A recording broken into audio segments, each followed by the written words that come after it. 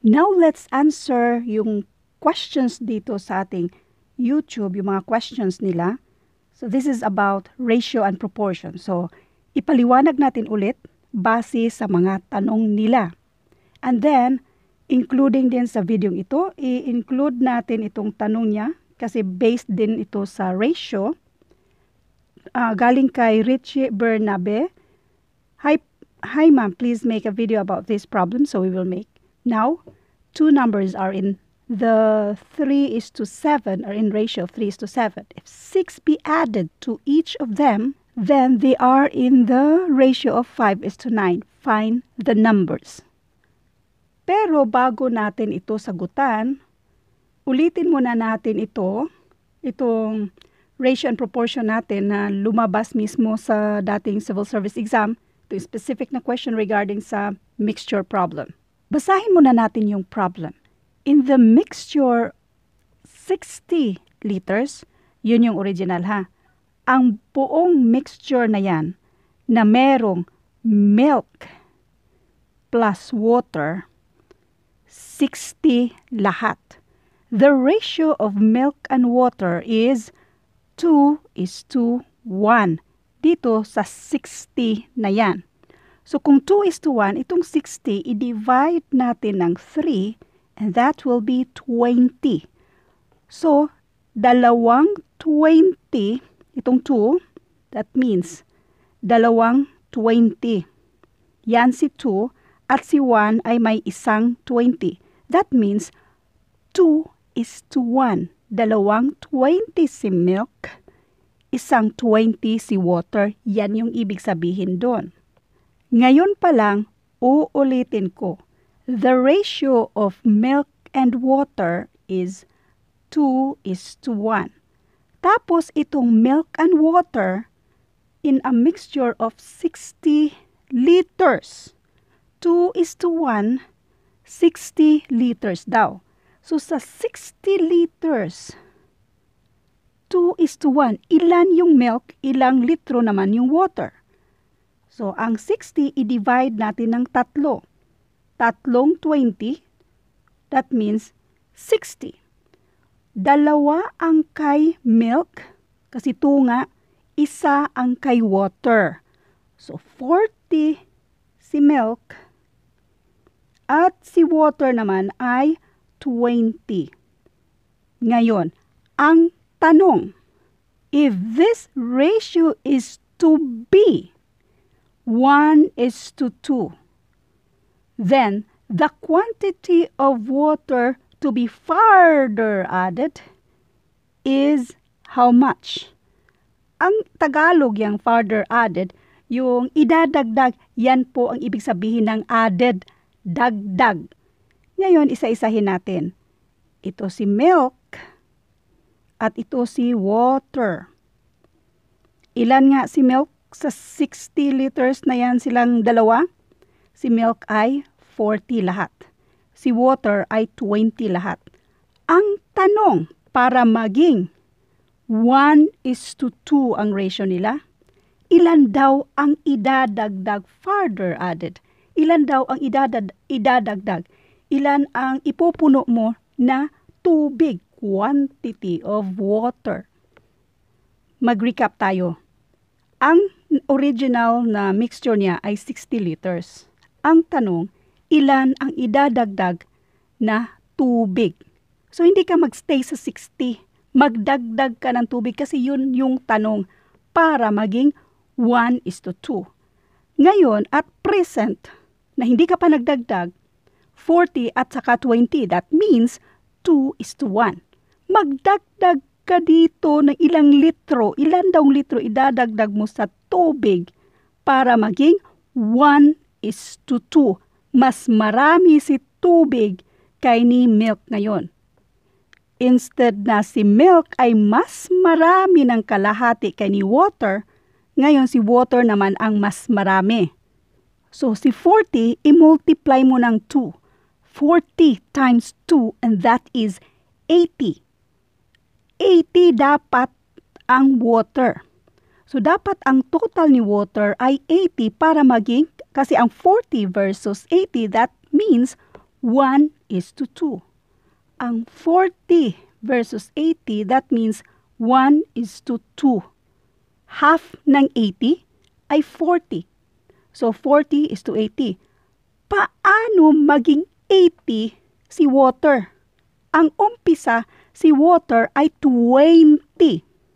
Ito yung umpisa nila. 40 si milk, 20 si water.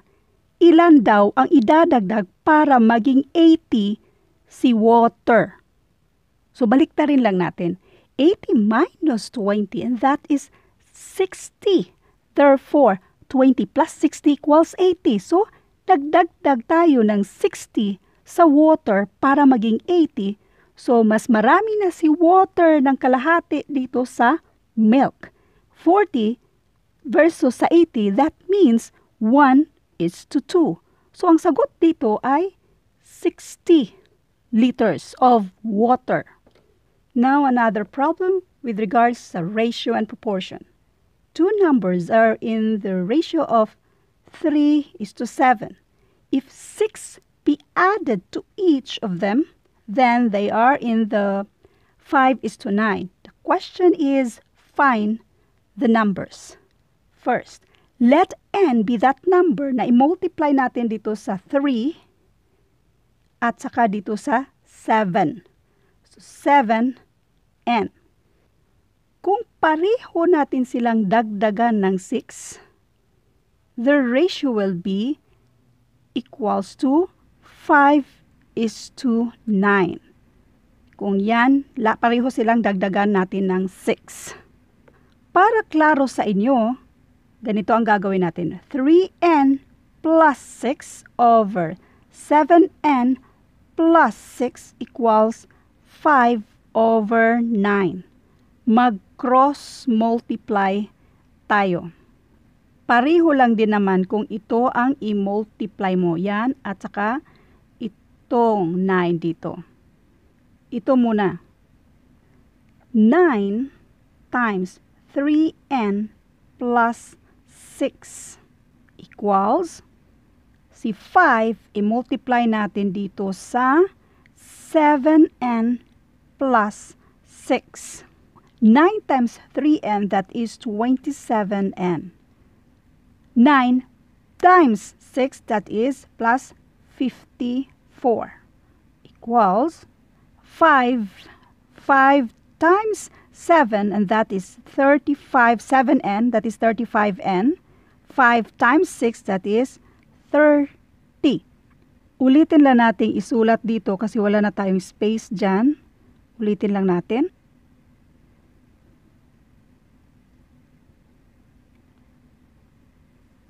Ngayon, ipagsama ang mga like terms. Dito lang si 54. At itong si plus 30, since pang plus siya dyan, kung i-transpose natin sa kabila, kabila magiging minus 30 equals at kopyahin lang itong si 35n. Then, itong si 27n, since pang-add siya dyan, pang-minus na siya kung i-transpose na natin dito sa kabila. Ngayon, pwede na natin siyang i-solve. 54 minus 30 and that is 24. 35n minus 27n and that is 8n. Para ma-isolate natin si n dito, since si 8 pang multiply sa n, pang-divide naman siya dito sa 24. So, n is equals to 24 divided by 8 and that is 3. So, ang value ni n ay 3. Remember, yung n, yan yung pang-multiply natin sa 3 is to 7. So, kung 3n, di ba? Ito yung una. 3n at saka si 7n. 3, ang value ni n ay 3. So, 3 times 3 and that is 9. Next, 7n. Ang value ni n ay 3. 7 times 3 and that is 21. Find the numbers 9 and 21. Mag-recap lang tayo. Explanation lang ang mahaba pero this is the best way to solve this. two numbers are in ratio of 3 is to 7. Kaya mag-let n tayo, let n be that number na multiply natin dito sa ratio natin para makuha natin yung actual na numbers.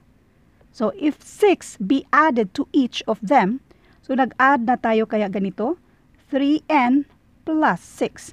Ang isa ay 7n plus 6. Tapos, yung ratio natin na 5 is to 9 mag-cross multiply tayo. Kaya ito na ang ito na ang lumabas dyan. And then, sinisimplify na natin siya at pinagsama ang mga like terms.